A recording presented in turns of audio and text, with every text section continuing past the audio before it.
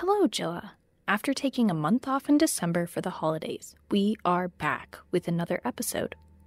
Similar to how scientific research needs custom made instruments, many experiments within JILA require customized electronic components.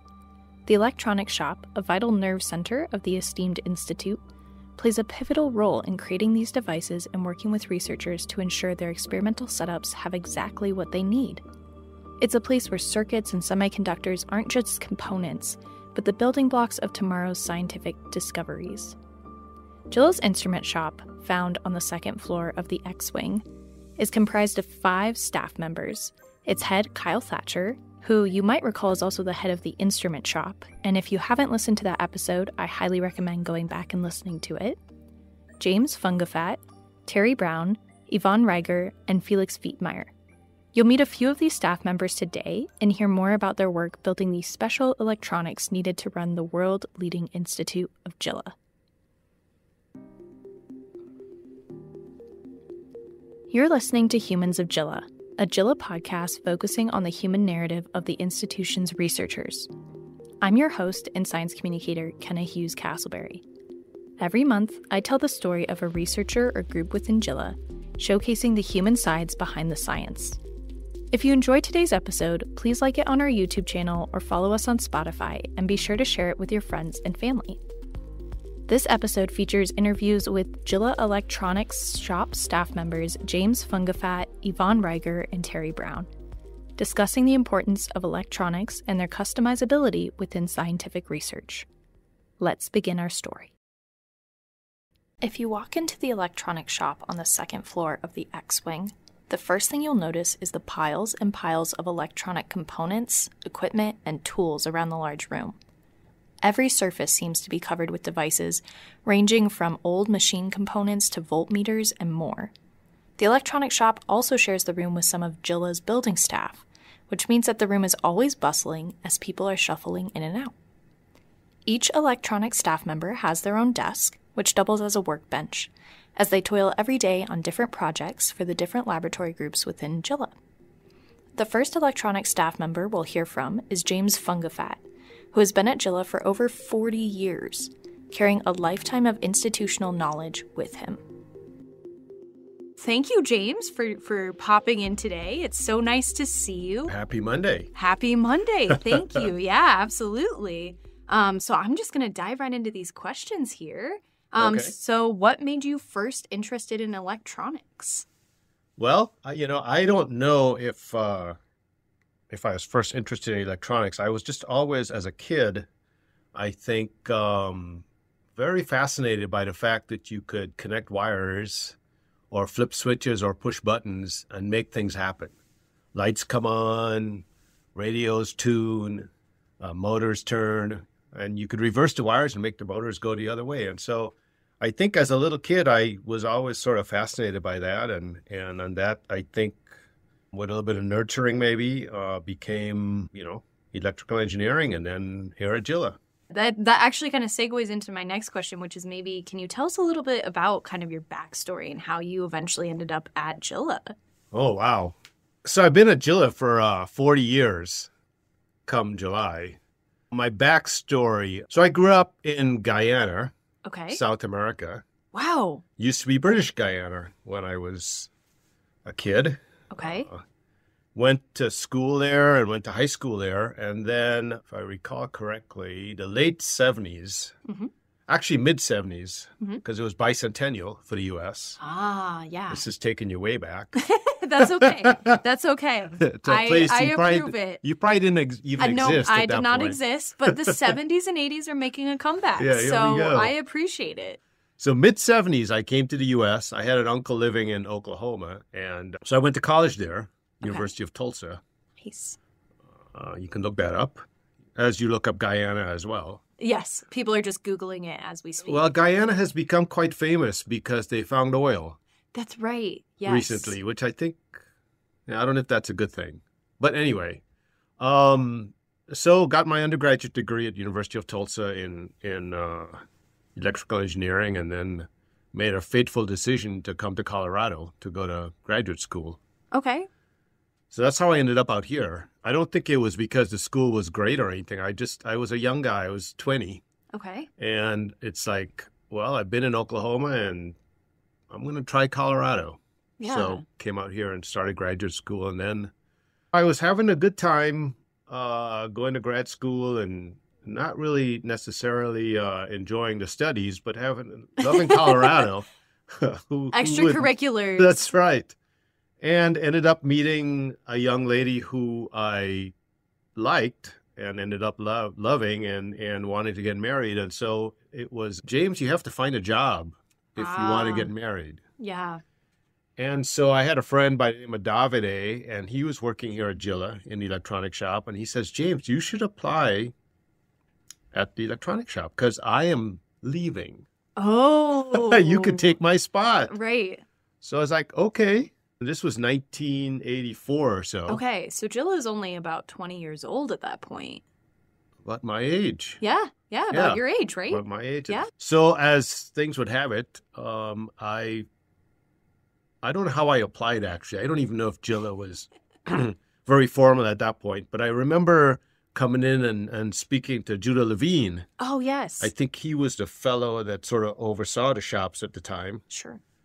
And um, he asked me a couple questions regarding low pass filters or something, and I made something up, and it must it must have impressed him. Well, I don't know if it's impressed him, but at least uh, it was enough to him, for him to say, "Well, you know, David is quitting, and sounds like he knows you." And uh, come meet Saul. So Saul Lissauer was uh, in the shop at the time. It was just the two of us in the analog side, and I think Terry Brown was also a student at the time working, but it was a pretty small operation. Okay.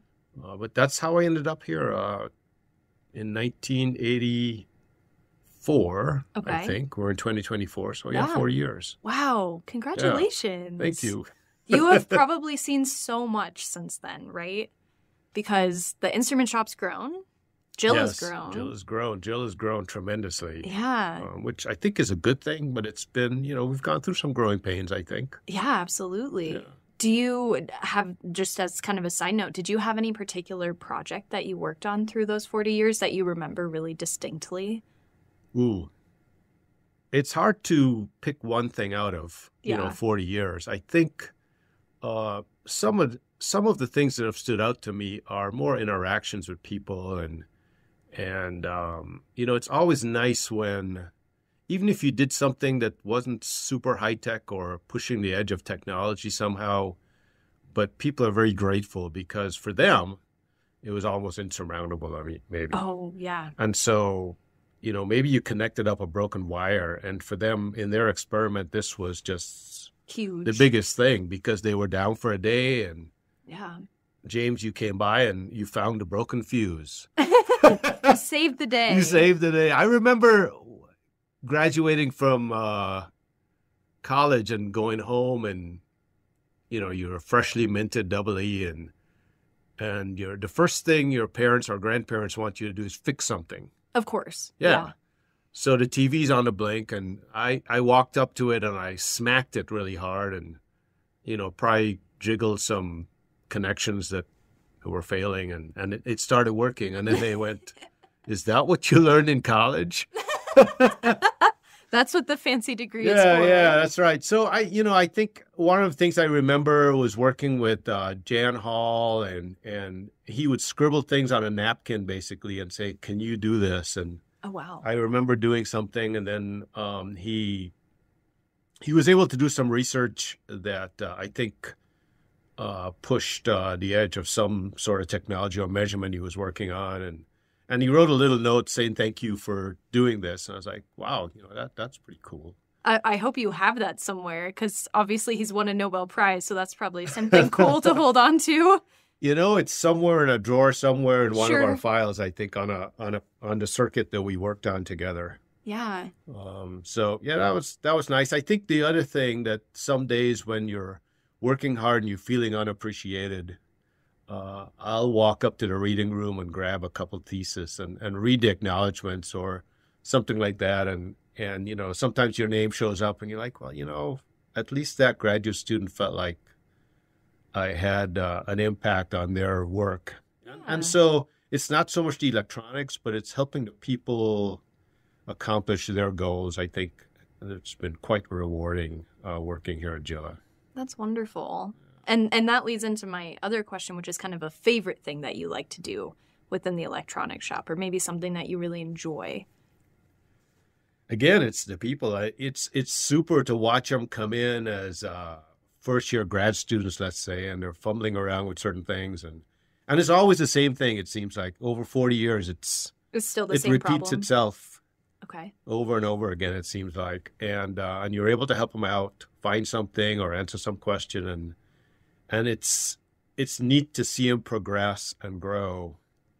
And then you know, five, six, seven years later, they're graduating and they're all you know defending their thesis and Yeah. All grown up. yeah, yeah, and and you know, you look back and you think, wow, you know, this person came in all fresh out of college and and started here at JILA, and now they're uh, they're graduating, and and it's if you stick around long enough, you get to see lots of those events. You know, I collaborated. It's great to collaborate. I think um, one of the things I did was worked with Felix and Terry and on uh, EDM collaboration with uh, Eric Cornell's and Cindy Regal's group, and and that was nice working on things like that. It was during COVID, and so things were a little bit messed up, and and yet we're able to do some science and do some engineering and and make things happen. So that was kind of fun. Nice. Could you maybe like describe what kind of is a typical day within the electronics shop? Like what does that look like? A typical day. Well, And maybe there isn't a typical day. first first you uh you you you get up and you get into work uh and you whine about timesheets. We like to whine about timesheets. oh no. But uh anyway, that's off that's off the it's just Monday and timesheets to do. So Sure.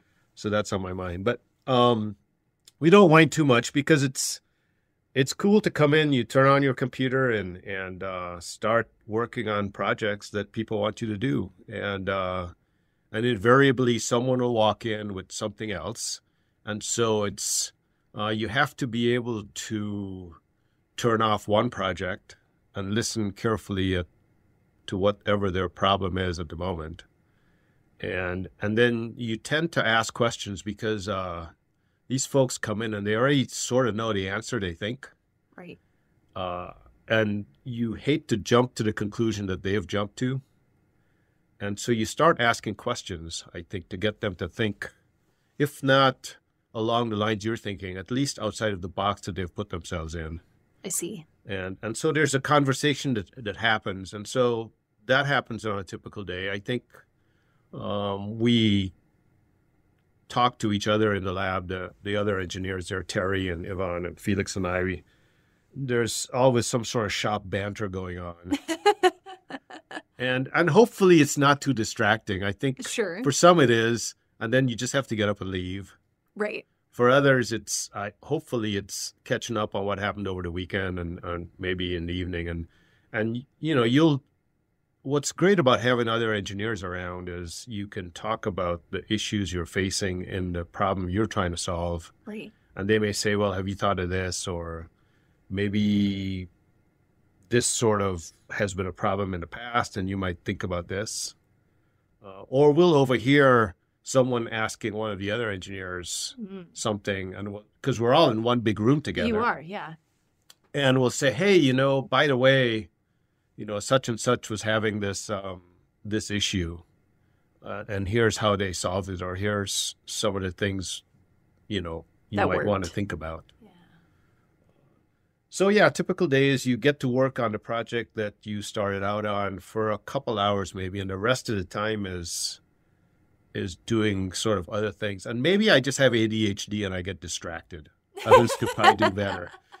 But uh yeah i end up working on two or three different projects at the same time i i don't know if i get bored at one and i just need a break you know sometimes you're working on something and you're banging your head against the wall and you're like well i'm going to stop Right.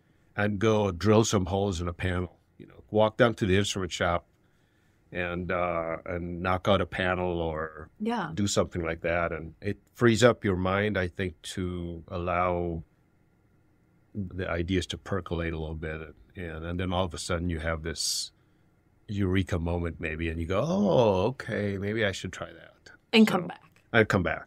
That's right. I see. Yeah. So how closely do the instrument shop and the electronic shop work? Well, um, so Kyle is Right. is also our boss, or the head of electronic shop, as he is the instrument shop.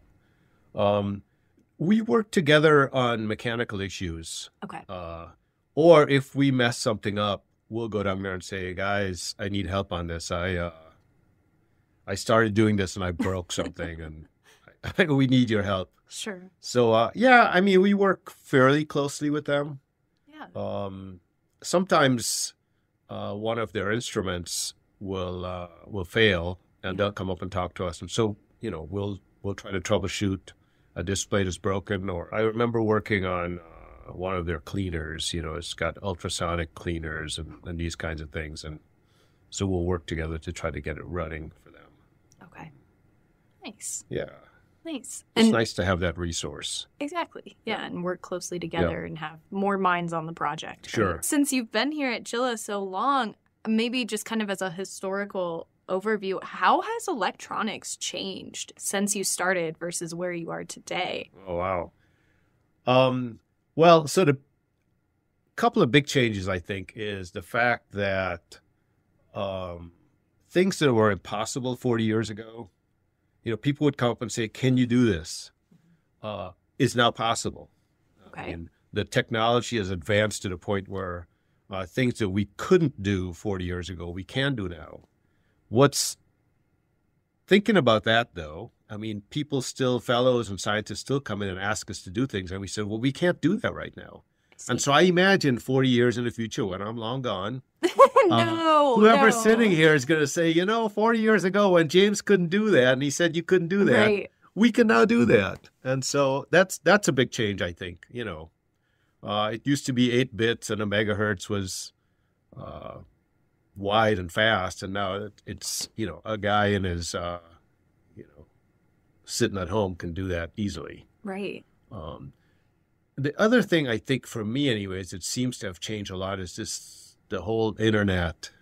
I think when when I started here, PCs were just starting out, um, and uh, the internet was just being born. I think, and so all this information that you know you had to go digging into books and data sheets and all this stuff uh, you had to have to figure things out is now like at your fingertips. It's right there. Uh, you can just type it in, and and all of a sudden you have several pages or podcasts, even yeah. whatever, Yeah. uh, where people are talking about this stuff, and so information is just so much more easily available Sure. uh, to the designer. Given that, you know, we're still plugging things into the wall and them to work, and so you know, some things have remained the same. But yeah, I would say uh, things that seemed impossible 40 years ago are now every day. I mean, I, I look at my cell phone and I think, wow, I know. you know, there was no such thing as a cell phone 40 years ago. Uh, and here we are with these things that we can't seem to take our face away from. No. And they're mini computers, right? They do Yeah, so much for us. Computers, yeah. I mean, it's funny because when I was high school, we used slide rules. A four function calculator was a luxury. Right. And now yeah, it's right there. right. Um, could you tell me a little bit about like a recent project that you've worked on? Um, I think the most recent project, I think, so we've been doing a lot of repeats. When you do something well, uh, people want you to do it again. That And, sounds uh, about right. Yeah, and and you know, it's uh, it's a little bit not as exciting for us because it's like, oh, I've done this before. Yes. They want another one, Yes. and the shop's really set up to do things. We we love to work on prototypes and things that are new and different, never been done before. right. These kinds of things. So EDM was one of those things. Okay. Uh, but you know, the repeat projects, um, there's always room for improvement, and so Sure. you know, we've built hundreds, I think, of uh, laser diode controllers. We use these laser diode, laser diodes in JILA to to trap atoms and trap molecules, and and so we're good at making these controllers. I think because they keep asking us to to make them. you think because they keep bothering you. yeah, yeah, and so we're repeating, and after hundreds of these things, um, we are modernizing the the board layouts and the things that are on the board, even though the basic design has remained the same. Sure. Um, and so one of the things I did recently was just uh, relay out a board uh, so that uh, components are now get smaller, and, and instead of through hole components, we're making surface mount components. Uh, and so we re- relayed out a board to do that. And so it was a redo of something that's already been done, but um, that's probably one of my most recent things. And again, you get to be creative. Yeah. Uh, you get to try something a little bit different, and and so it keeps life interesting, even though it's a redo. Right. Right. It's still not exactly the same. Right. Nice. And then, of course, you make mistakes because it's the first time, and and then you got to go troubleshoot why why is it not doing what you did because Right. you, you were very careful to do it right, and Right. yet it doesn't work. There's something so- going on. Yeah, and, and that's you know that's a nice thing about working in, in our environment is that we're allowed to make mistakes and and and then try to fix them. Yeah, absolutely. Well, my last question for you, James, kind of a broader question, just focusing on JILA, is Hmm. how has JILA really supported your shop and your work? Um, you know, I since the very beginning, I've always felt personally very uh, appreciated, and the work that we do has always seemed to be accepted and rewarded, and uh, at least it seems as if uh, the shops have always been a treasured part of of who JILA is. And I feel bad sometimes because there may be other parts of JILA that may be as important to the whole operation of the institute, and yet the shops have have uh, been a treasured part of who JILA is, at least to the to the labs. Right. Uh, and so that being said, uh, you know, I think funding has always been there, although, you know, they have made noises sometimes of funding being short, but, you know, we've always been able to buy the tools we've needed, buy the software we've needed. Again, JILA's always been good to uh, our shops Yeah. they seem to treasure. I mean, one of the things that uh, JILA does is when prospective graduate students or new scientists are coming through, you know, they'll walk them through the shops and, you know, they'll say, this is one of the pieces that make our institute as special as it is. And so that's a very affirming It is. uh, to the shops. Now, hopefully, they go through the administration and all the other parts of JILA, you know, even our janitorial staff, Exactly. you know, and appreciate them as much as as they're needed, uh, just as much as we are. Yeah, yeah. But you are kind of the front face of that a little bit more, perhaps. You know, we seem to be, or at least we feel that way. I don't know. I don't know if that's actually true, but right. but they make us feel that way. Okay. Which okay, fine. Just means you have to have more practice speaking to a bunch of different people and having tours in your your office, right? Yeah, and all it's that. it's a little messy. uh, Messy can be good though. yeah, they've put up with that. So Yes. okay, fine. Well, thank you so much, James, for You're welcome. Thanks for doing this. Yeah. After interviewing James, JILA Electronics staff member Ivan Ryger joins me in the studio, discussing his passions for all things electronic. So, thank you for for sitting down with me. I appreciate it. So, I'm going to jump into the questions here. So, the first one is what made you interested in electronics? So for me, it's a sort of a lifelong experience because as a a five-year-old uh, kid, I was uh, watching the TV from the backside actually, and I saw uh, the nice, uh, bright colored parts uh, and the uh, glowing uh, cathode tube that uh, drew my attention, and sort of it was sort of mesmerizing for me, and. Uh, I just hopped on the boat uh, later on uh, when my first experience with doing electronics was about eight year old when there was a quiz in uh nas- national TV uh, station and uh, they were asking something about uh, radio amateurs and by accident uh, I just uh, read a book uh, uh, with my mom the day before about uh, uh, Jozef Murgaš and uh, I won the quiz and obtained um, a small kit uh, f- for a small radio Wow. that a gentleman from uh, that local uh, uh, national TV station helped me building, and uh, to my surprise, it worked. So wow. that was probably my first interaction with electronics. I didn't know too much of, uh, of that uh, at, this, at the time as an eight year old. Later on, um, uh, when I turned 13, I came across the information that there was a local radio club uh, in a city. So um, I came there, and the gentleman started teaching us uh, uh, how to interpret Morse code Whoa. and how to build the shortwave radios. So that was my first interaction with the radio. And then later on, as a 15 year old, I realized I, I need to earn some buck the, as a pocket money such that I could sustain some uh, hobbies. And so I started learning how to fix TVs because a few of uh, my friends used to do that. So I uh, just got on the boat. And then later on uh, at the high school, and just uh, natural sciences uh, were drawing my attention. So I uh, went into a bit of programming. We had very good um, teacher of mathematics and excellent teacher of chemistry. We went uh, to several local competitions and uh, also nationwide competition in chemistry. And uh, that was my first interaction with science because uh, around me, very few people were aware of uh, what is science good for. Uh, when I was choosing what uh, university I would attend, I was considering uh, Faculty of Mathematics and Physics, Electrical Engineering, and Chemistry. But at the time, I didn't know what will be the best thing that would earn me a living.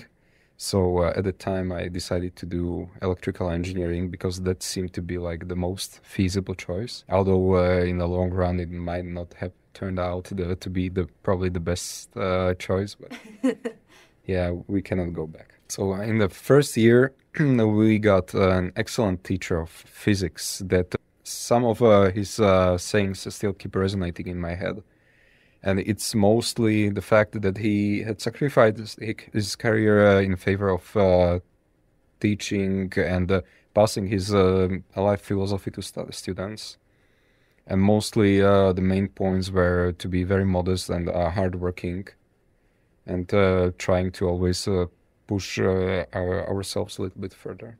Then later on uh, at the university, I I went into field of radio electronics involving ENM, microwaves, optoelectronics, lasers, and similar things. That opened me a way to uh, postdoc at NIST. Uh, there, I had a chance to work with uh, John Lehman, who is uh, the head of uh, laser radiometry group. That was my like very profound experience with with some people who made the science work for the overall good or for good of uh, people. I saw uh, quite nice projects on uh, dual-comb spectroscopy monitoring the quality of, of the air and the pollution. Some satellites orbiting Earth, for instance, like a GRACE Follow-On project, monitoring the uh, local variations of gravity field. That actually showed how useful the these intricate instruments can be to reveal some phenomena in in the uh, in the nature that will be very difficult to capture by just ordinary means. In particular, I know that uh, NASA was uh, uh, sending a document to Indian government about their water column uh, beneath the, the entire country dropping suddenly very fast so they would have to adjust their water policy. And the way how they figured this out was just uh, they realized that uh, uh, the local gravity field uh, caused by water column was uh, suddenly reduced. So that was quite impressive. And then uh, the third project that really printed in my head was a swarm of CubeSats that Michelle Stephens was working on, aiming to measure the total Earth radiation budget, meaning the amount of energy from sun incident to the Earth's surface versus the the amount of uh, radiation uh, being uh, released to the space as a black body radiation. And from there, they could uh, clearly distinguish whether the Earth was warming up or whether the temperature stayed or the average temperature stayed constant. So uh, that was very impressive and led to very clear conclusions. And so, obviously, working at NIST, it wasn't hard for you to move over to JILA then. Could you maybe tell us a little bit about when and how you came to JILA? Yes, so uh, I was aware of uh, JILA shops from probably the early beginning of my stay in NIST. However, uh, before the COVID pandemic, we decided to move back to Europe for family reasons. We spent some time with family, and then I got on postdoc to France, uh, where I was more involved in uh, time and frequency metrology. That involves building some optical instruments, a lot of experimentation in the lab, a lot of very precise measurements, again, similar to NIST. But uh, it wasn't uh, sustainable for us because we were sort of isolated scientists in the French community. So, just by a matter of lucky circumstances, I came across uh, this job opening in a JILA Electronics shop, and I found uh, this could be a good fit. The reason for that is what keeps me really motivated is the fact that we are not doing just a very one single repetitive task, but we are involved in many different scientific domains and we have to know a little bit uh, from each corner and we get to learn tons of things if we are permitted to study.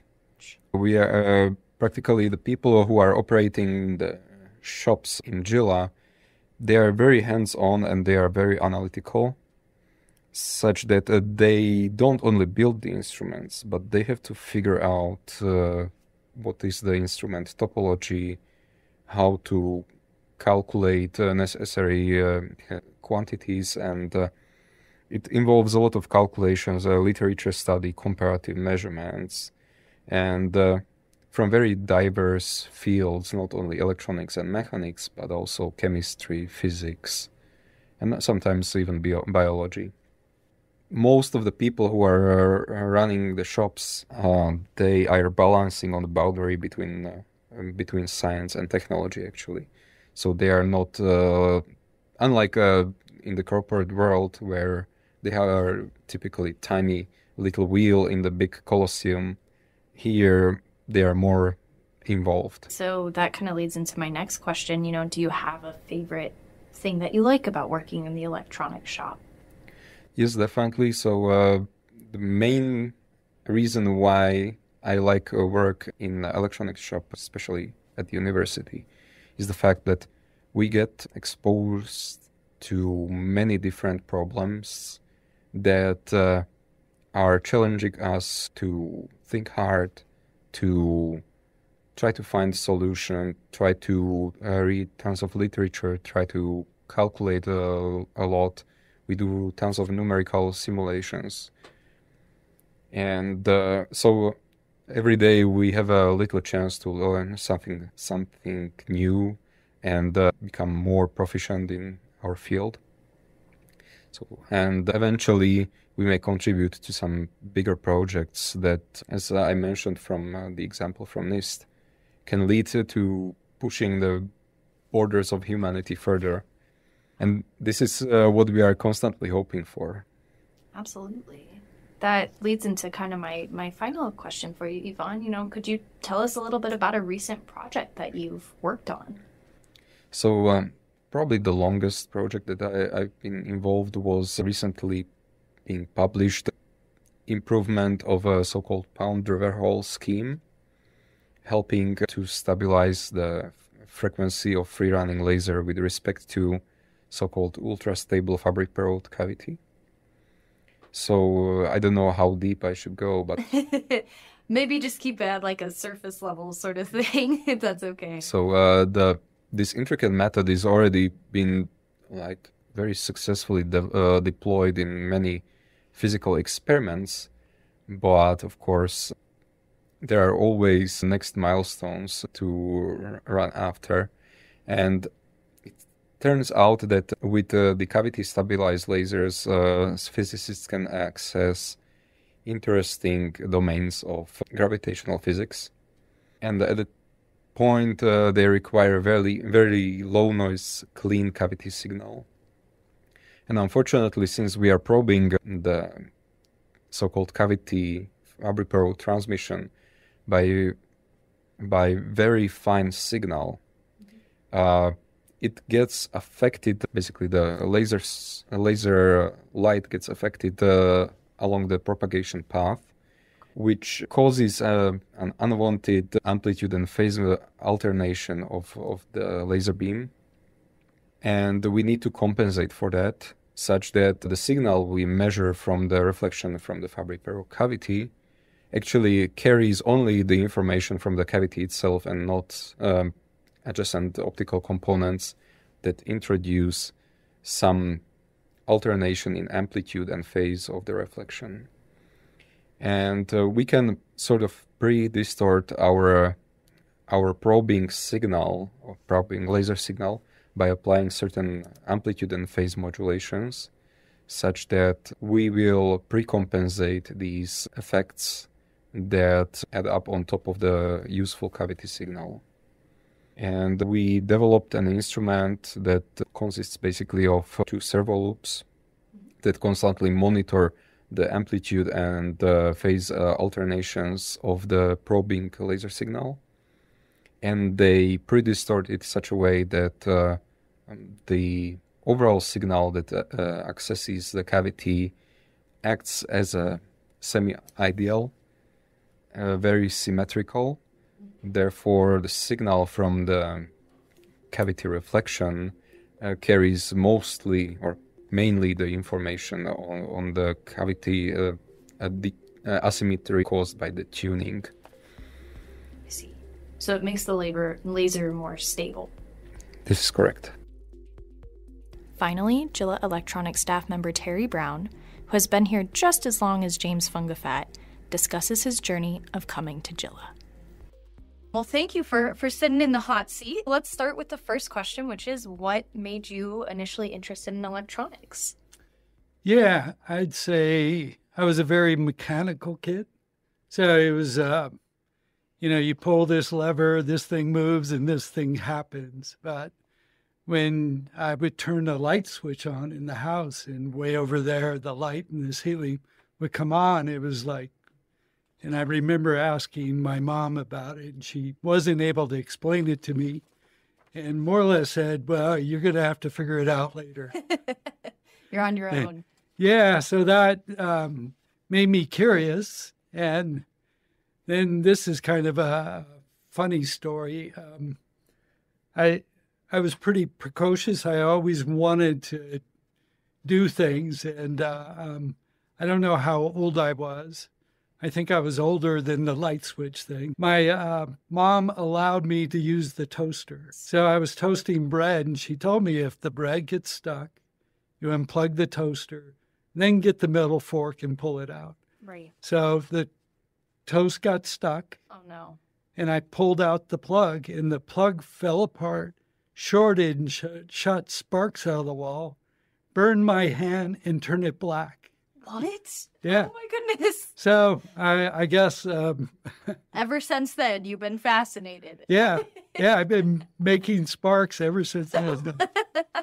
no, I was horrified because my hand was black. Right. And uh, it was burned. So when I tried to wash it, it wouldn't come off because my hand was burnt and I couldn't. God. So I was like, is my hand going to be black for the rest of my life? Oh, no.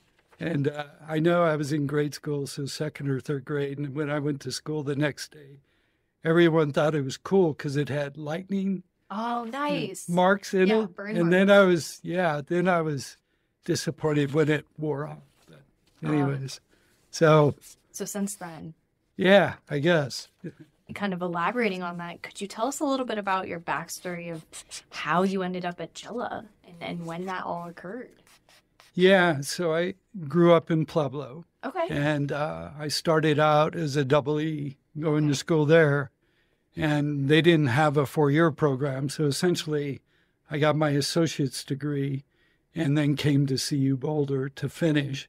But of course, then I switched to physics and started over. But uh, interestingly, my physics teacher at the school in Pueblo, we took a tour here, and I actually walked through JILA and looked at all the lasers. So that was pretty cool. And uh, and I remember I ended up in Jan Hall's lab, just all the pretty green lasers. And uh, uh, but eventually I ended up here, going to school and uh, working here. So.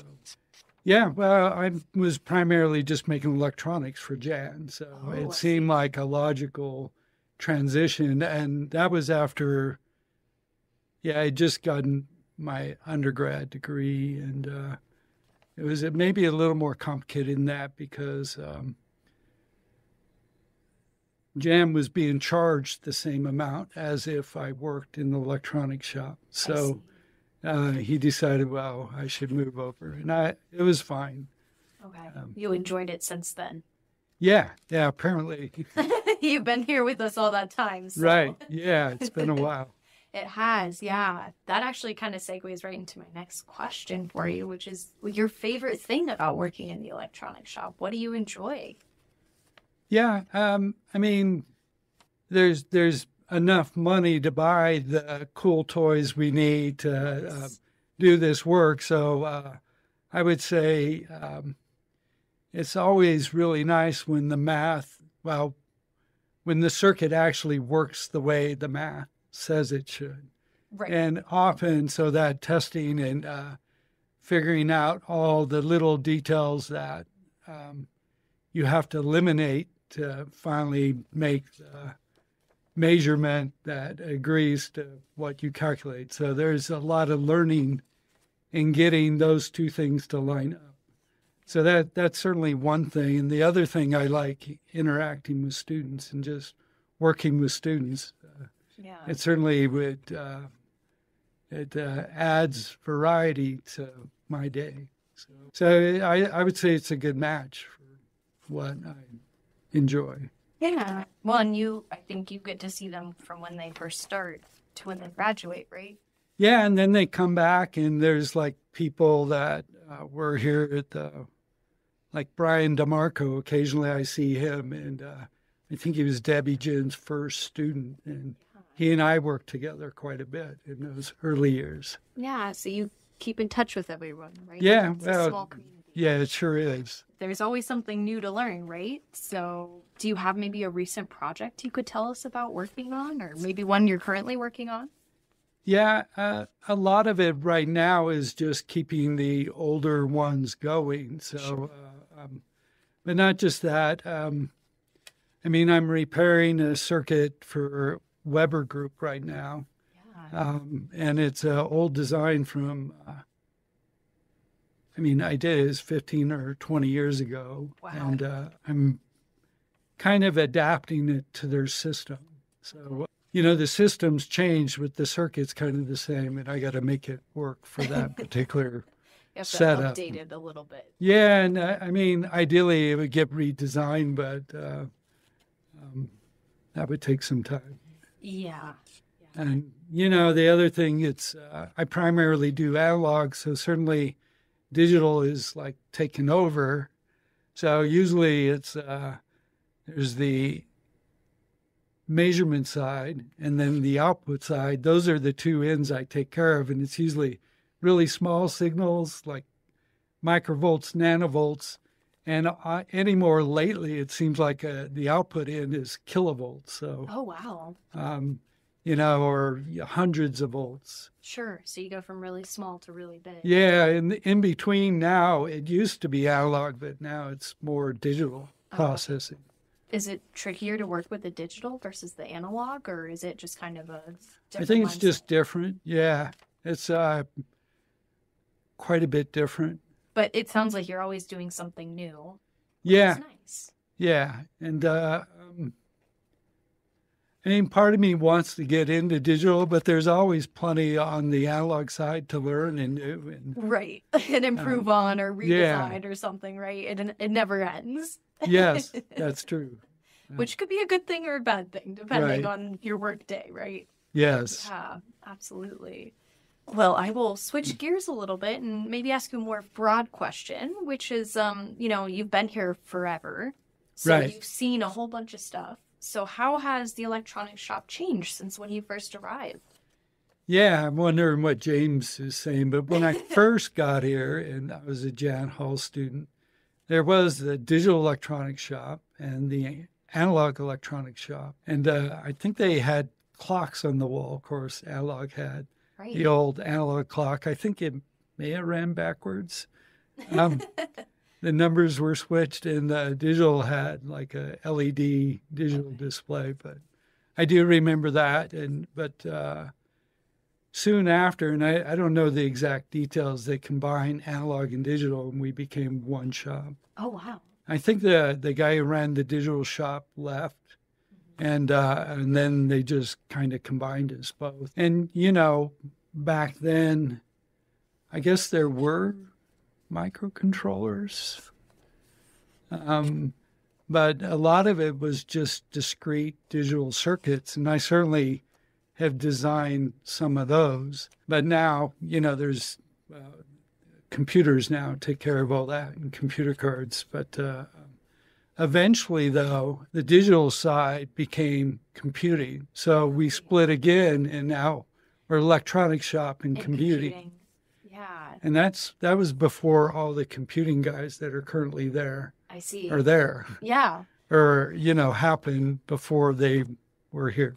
sure. Yeah. So I'm assuming you get a lot of kind of interplay between computing and electronics or electronics and the instrument shop, right? Kind of all Yeah. tag team on things. Well, it's kind of interesting now. Felix does more of the digital uh, side of things in the FPGA and microcontroller, but uh, um, computing, you know, we're pretty separate.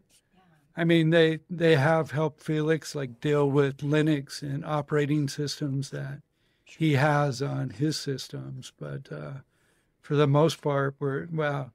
They help us, you know. When my computer breaks, I'm talking to Eric.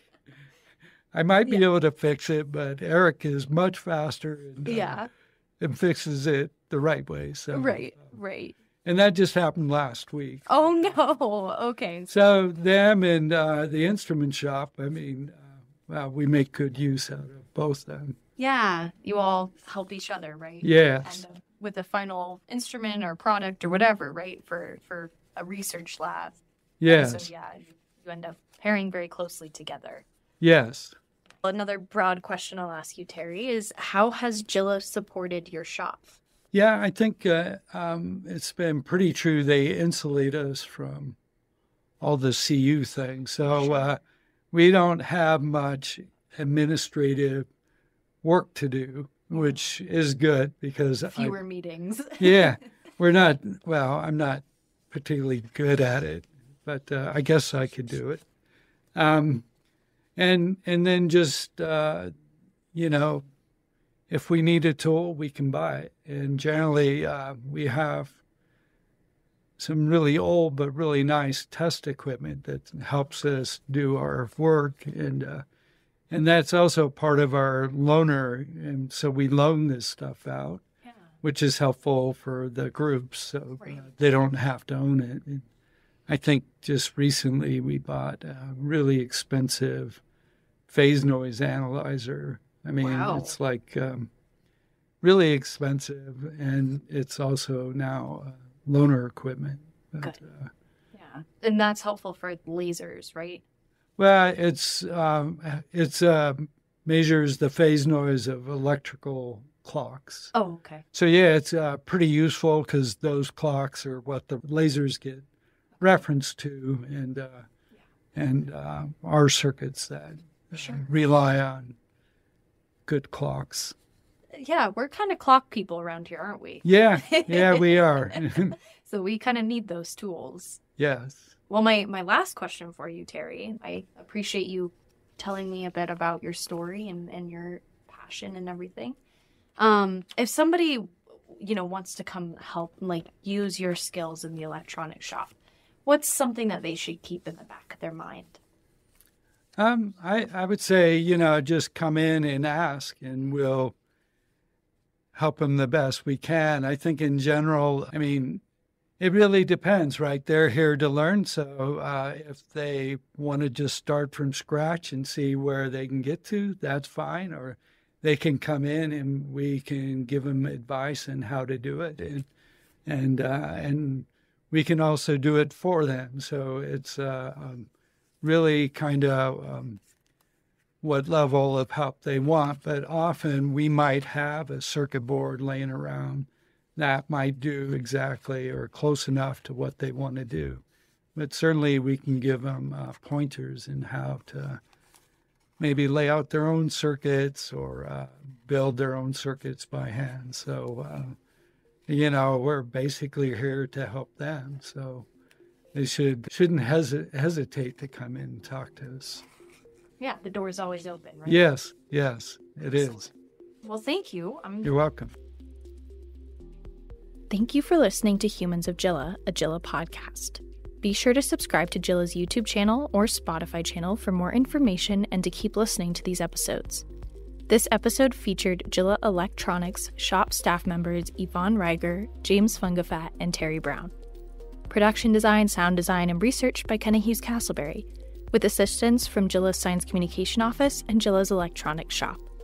Sound and music by Pixabay and Kevin MacLeod. JILA is a joint institute between NIST, the National Institute of Standards and Technology, and the University of Colorado Boulder. This podcast is hosted by JILA. Any use of this podcast without JILA's permission or credit is prohibited.